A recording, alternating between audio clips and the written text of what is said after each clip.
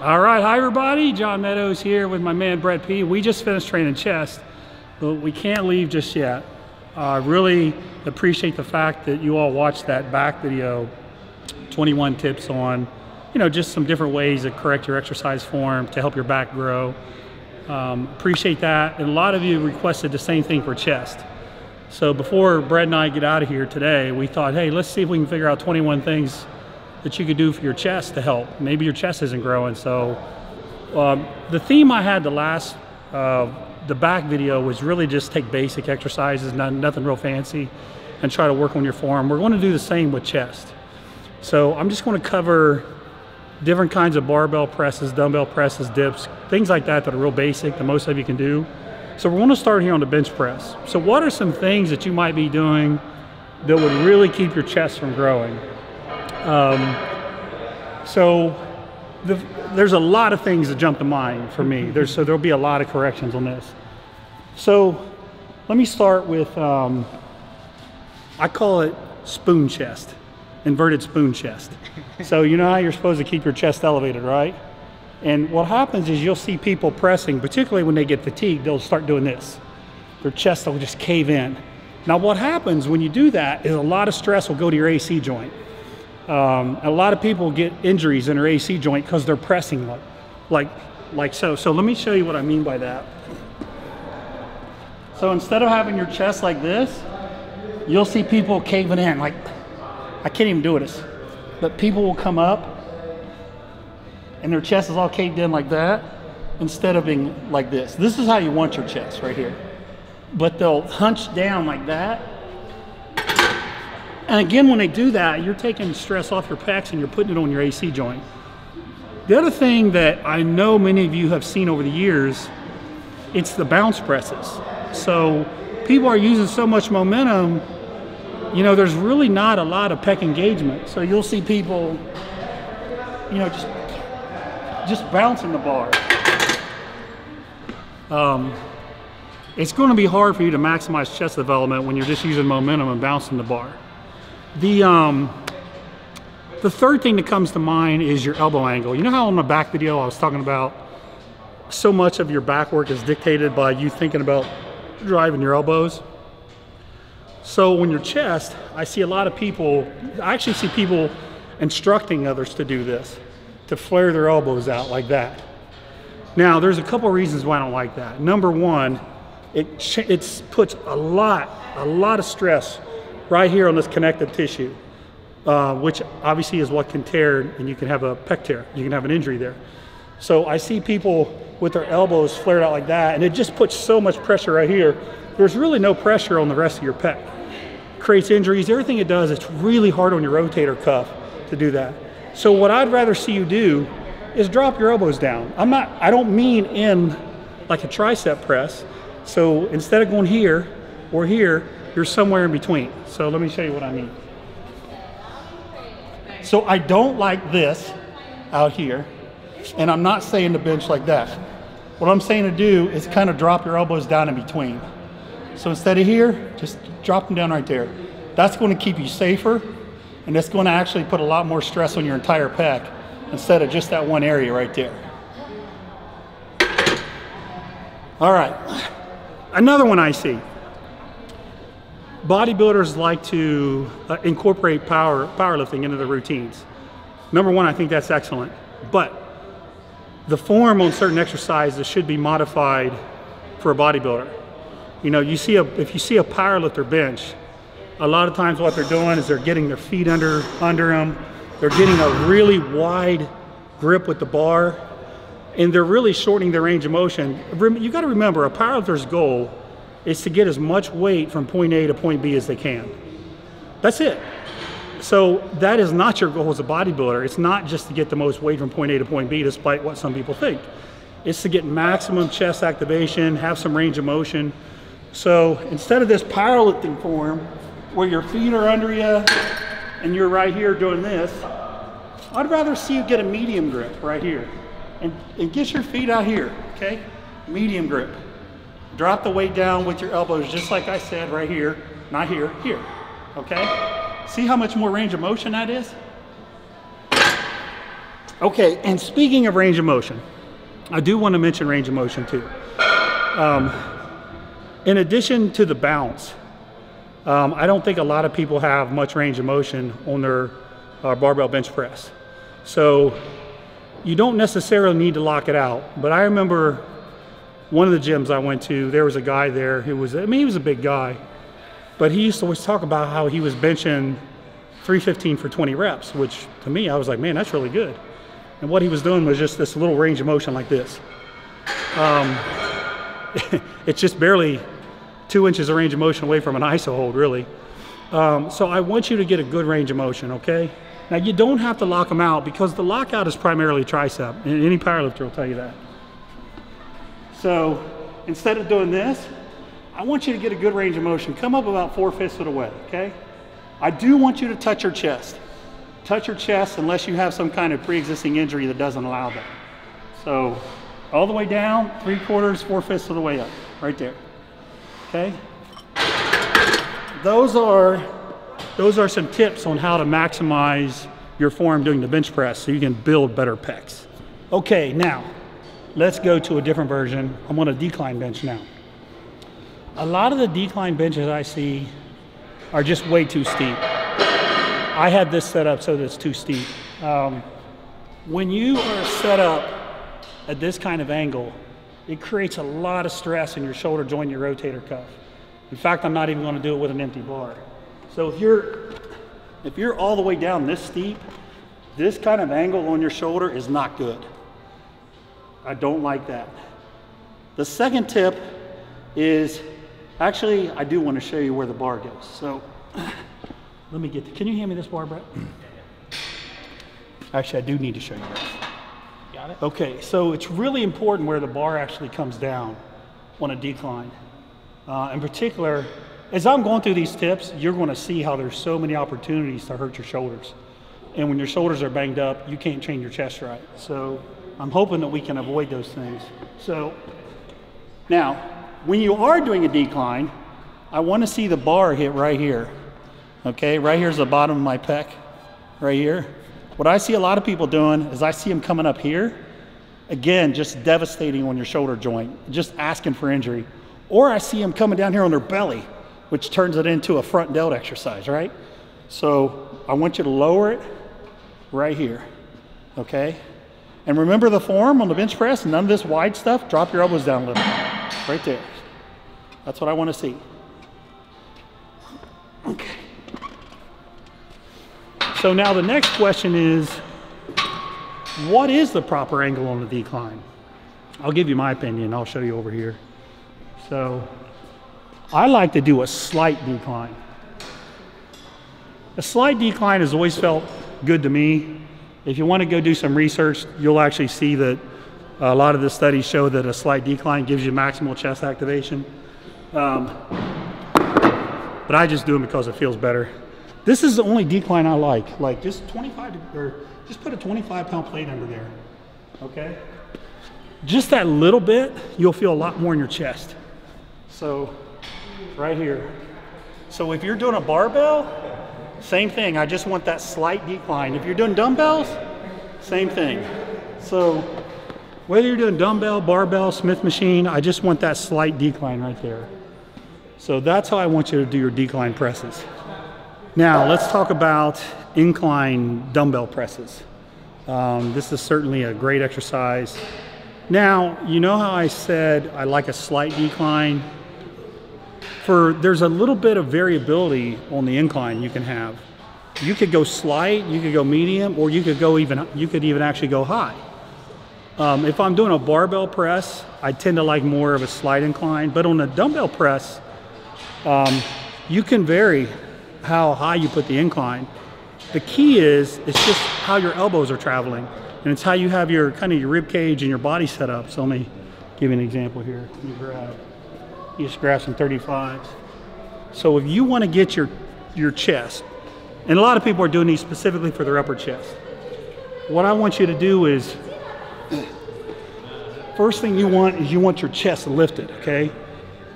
You don't want that flat inverted spoon chest that transfers stress to your AC joint. Remember that. So you want your rib cage expanded and your chest lifted. Now, you've got to have your elbows travel in the right path if you really want to maximize upper chest development. So if you're up here, guess where the stress is going based on what we've shown you so far. Hopefully you, you grab this area right there. That's where all the stress is going. But if you want more in your upper pec, instead of going here, now you want to go here, okay? So you're coming down like this, okay? And you're coming up right here, right here. That as opposed to this. Okay, that does work your chest. I just want your, I just want to, your angles, your elbows to be down a little bit right here, okay? Right there. So none of this. Keep your chest lifted. And you'll notice, you'll notice whether you play, play around with the angle. You'll notice whether you're here, here, here. You can still basically get a lot of that same motion by the way your elbows are traveling. And theoretically, on any, any movement for chest, having the elbow path go like that's going to get you a little more upper chest. So on the incline dumbbell presses, I think that the, probably the things I see people mess up the most is probably their elbow angle, if they're really focused on upper chest. And the other thing is just, again, that caving in thing. That caving in thing is not good. Good way to hurt yourself. Uh, another thing I want to throw in here when you're doing the dumbbell press. Grab the dumbbell right in the middle, okay? So, right here. Watch what happens. Watch what happens if I grab it on the inside. You see what just happened to my wrist? Watch what happens if I grab the dumbbell on the outside. See what happens on my wrist there? So make sure you got the dumbbell right in the middle, okay? Right here. Now, I do tend to think that, I, okay, I got another one I want to throw out here. I do tend to think that most of your dumbbell pressing you should probably not lock out. It's just so much try at the very end. Um, I'd rather keep stress on your chest and only come up three quarters of the way. So that would be another thing I would try to do if I were you to maximize chest development. All right, I hear we're in the good lighting now. So another really basic exercise for your chest is dips. Now, I'm to show you a couple different ways to do these. So a lot of people will will do them like like so, like that. I don't want to say that's bad. It's not bad. It's just that that form is putting more stress on your front delt and your triceps. If you're watching this video, you're probably more interested in your chest development. So there's a way you can alter your dips.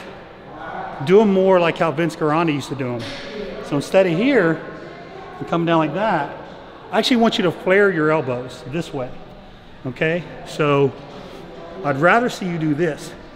See how my elbows are flared? That's a lot more chest and it's a lot less shoulder. And I think anecdotally through the years, people have probably put a little bit too much stress on their shoulders doing dips this way too. I see, I hear a lot of people tell me they can't do dips, and when I see their form, that's how they're doing them. As soon as we switch their form, they're like, oh, that's not so bad. So that's a way you can really um, improve your chest recruitment doing dips. Another thing on these dips is where your feet are going. And this, again, this is another Vince Gironda thing from back in the old days. Vince used to have people put their feet out in front. I personally like that a lot.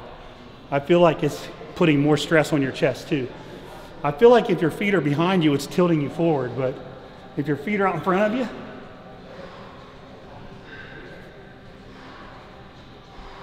and it's a little harder to do them that way, but once you um, get used to them, it's no problem. It's just hard at first because you're not used to it.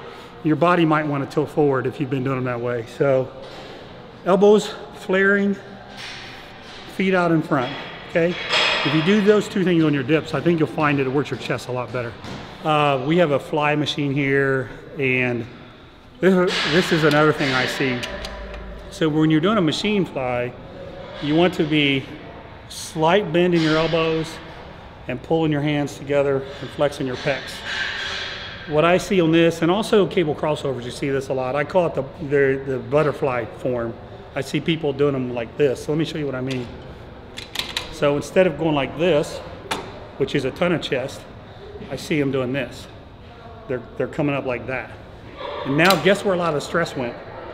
Right here. That's not a good thing. And I can, I can feel this a little bit in my outer pecs, but This contraction compared to this is two different things. Uh, and again, I really see that a lot on cable crossovers. So make sure when you're doing a fly, you're not like this, okay? Get your arms out, slide bend your elbows, and pull your arms across. That's what part of what your pecs do is they do this. This right here, I don't like, okay? So make sure you do your machine flies with that technique. You want your hands lined up right outside your body. I don't want to see you here, and I don't want to see you here. So make sure your seat height, make sure your seat height is right. So right here, so you can pull right across, as opposed to down here or up here, okay? Those actually will almost, they don't force you, but makes, you, makes it much more likely you're gonna get that butterfly technique. The other thing, um, it's just like the bench presses. You're supposed to have your chest elevated, right? Right here. See how my chest is elevated? And I see people going way too heavy on these. So guess what they do? They get the inverted spoon chest on this too. So instead of doing this, I see them doing this, right? Their, their chest is all caved in. And when I, when I just changed that and did that, I could literally feel all the stress go right here. It all went right here. Try that, try that. Do it with good form and then try it where you're all hunched over. No hunching, no inverted spoon chest, all right? So there's three things there. Okay, now I know some of you maybe don't have training partners, so you rely on the Smith machine. So I do want to throw a couple things in here. Um, the Smith machine can be a fantastic chest builder, but it can also wreck your shoulders. So what I want you to be careful of is too much internal rotation is the big one. And let me show you what I mean by that. So basically what I mean is when you press, your shoulders are coming from a position where they're internally rotated. So that means that the bar is coming down too low. So watch this right. Let me let me scoot back a little bit. Okay. Now watch what happens to my shoulders I'm coming down. Do you see that? See where my shoulders are at? That's bad. But I see a lot of people doing that. They come down all the way down here and as watch as I'm coming down. See how my shoulders rolling like that? That's really hard on your shoulders, your rotator cuff. That's a good way to injure yourself. What I would rather see is I'd rather see this.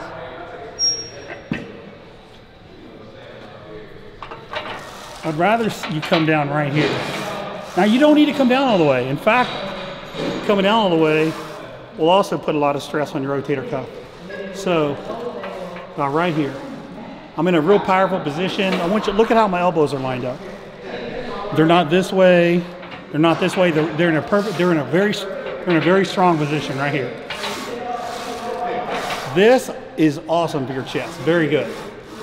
So, so that's the main thing is don't come down like this. And it also applies uh, in terms of external rotation. So you don't want to come down too high over your head so you're external rotated. But I don't really see people do that. The main thing I see people doing uh, incorrectly here is they just lower the bar way too low. And, and then they say, well, I hurt my shoulder. The Smith machine sucks. No, the Smith machine doesn't suck. Your form sucked. That's, um, that's how you got hurt. Um, so I did want to show you that because again, I know a lot of you um, train by yourself and you probably use the Smith machine. Now let's say you're on the incline, incline barbell bench. The other thing, those, those rules all apply on that too, but I don't think you're as likely to do that rotation on the internal, or the internal rotation on the incline bench, or you just drop the bar. Wouldn't feel good. But the range of motion part is very important. If you notice uh, when we did the bench presses, I said make sure you take the bar all the way down, touch your chest. I don't like to do that on incline presses. I like to bring it down to like right here. I feel like down here, now you're creating some, some stress that may not be healthy for you. So when I'm doing the incline barbell presses, you'll notice I keep the reps about an inch or two above my chest. Now I will tell you that I used to have banged up shoulders all the time all the time. And one of the things that allowed my shoulders to feel better was when I just quit taking it down all the way and I would stop an inch or two away from my chest. My chest actually started growing more. So, you know, a lot of times I get people that make fun of my range of motion on inclines, but for me it was really good. It saved my shoulders and my chest got bigger and thicker and I felt better. So when you're on an incline barbell or even on the Smith machine, you don't need to come down all the way. um, I would cut them an inch or two short just for your shoulder health. Okay, another thing um, that applies to any kind of barbell bench, incline bench, even dumbbells, um, shoulder packing. So many of us, myself included, were always taught to get your shoulders down and back as low as you can go. So down, get them as down as far as you can go. Pack those shoulders down like that, okay? That's what we were taught. Now, what's happened is a lot of people have developed shoulder problems through the years from that technique. And I got to give credit to uh, Kassem at N1. He's been kind of the guy who's been trying to teach everybody to not do that. So credit to him. This wasn't my idea. But when you're packed down like that, your scapula, you have, you have uh, the, the rotation of your scapula is not what it should be. We could do an entire video on that. Long story short is you're not even getting maximal pec contractions. Your back packed down so much, you can't even, your shoulders, your humerus isn't even moving forward uh, a whole lot. So what I would say is don't worry about getting your shoulders packed down so much. Just stay tight and just get a nice little static arch. Okay, so little static arch right there and just stay tight right there.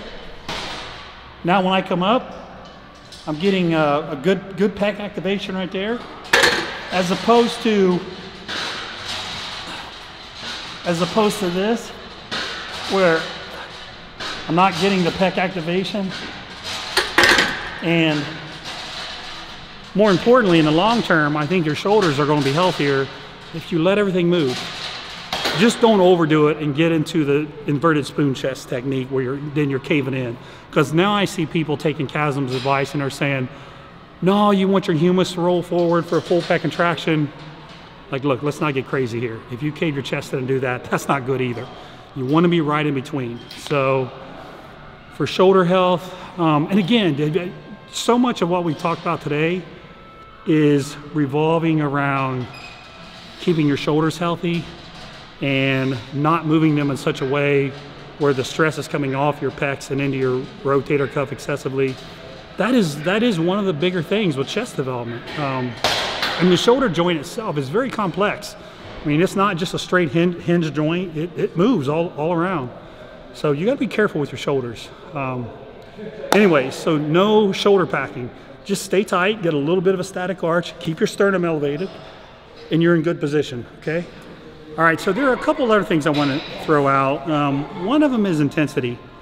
So there's a lot of debate um, on volume and intensity out there, and you know how hard should you go? Should you go to failure? Should you always have reps in reserve? I know where I stand on it. I um, I feel like people don't necessarily push hard enough. I feel like I'd rather see somebody go to failure but you have to be ju judicious about it.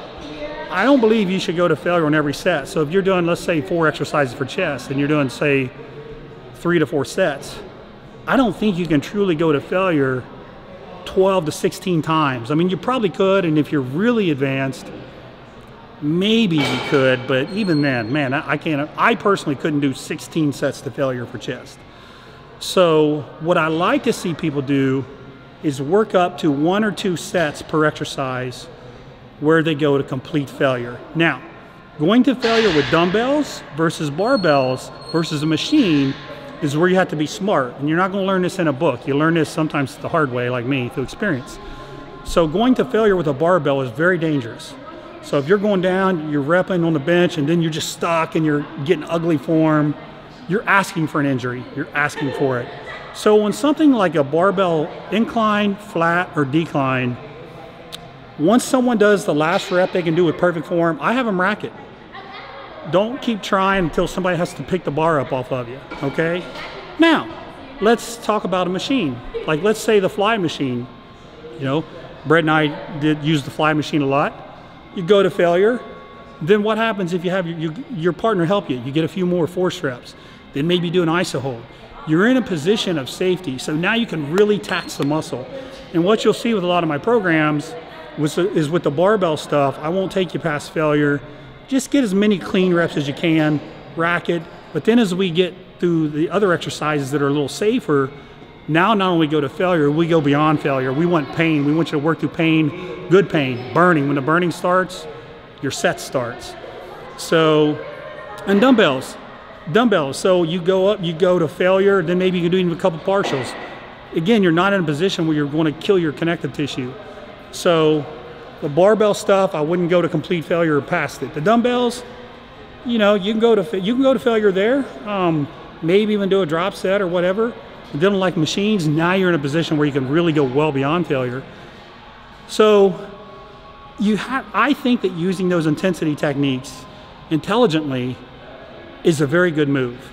And I know people, and it drives me crazy, are being told to don't do any drop sets, don't go to failure. It's just laziness. It's just laziness. I can tell you that doing a little bit of that stuff goes a long way. You know, I might do one or two drop sets for the whole workout. And then I might do one or two sets where I throw some partials on. So I'm not advocating doing that on every set, but I think it's important that your intensity is high enough, or no matter how good your form is, you're never going to really push yourself to grow. The other thing I want to mention is exercise sequencing. This is another thing you don't really learn in books. Um, another thing I learned the hard way. I used to always come into the gym, I used to bench press first. Even though my form was pretty good, um, other than the shoulder packing I used to do, um, injuries all the time. So what I did was I started putting my barbell pressing second, sometimes even third. And I noticed that when I got to the exercise, it felt better. My joints didn't hurt. I got more out of the exercise in terms of growth and development. Now, maybe I was a little bit fatigued from the first exercise, so I couldn't do quite as much weight, but that's just because of fatigue. It's not because you're actually getting weaker. Um, and actually, that made a huge difference for me. That's one of the biggest things for me to help my chest. So I would tell you that exercise sequencing is a big deal. You know, I'd rather see someone start with a dumbbell or a machine, then do their barbell work, and then come back to dumbbells or machines and really start pushing those sets past failure. So that's the other thing. And then one final tip for the day. Um, a lot of people are all oh, machines suck, they're terrible, you should use all barbells. Then some people are like, oh, machines are good, they allow you to work through safe ranges of motion. Should never really do the heavy barbell stuff. You know, the, the answer is probably somewhere in the middle. Um, I can't imagine not doing any barbell stuff. Um, a low incline barbell bench is my favorite exercise for chest. And then my second favorite exercise is probably a slight decline dumbbell bench. But you want to have a good mix. I think the, the, the, the sequencing is what's more important. Um, that's what I would rather see people do. Uh, so don't do all machines, don't do all barbells, have a good mix. They, machines allow you to go through a nice full range of motion, dumbbells allow you to go through a nice full range of motion safely. So anyways, I, I hope these tips help. Um, hopefully you enjoyed this. Uh, let me know what you think. Uh, try some of these tips out. Let me know if your chest workout felt better. So until next time, we'll see you later.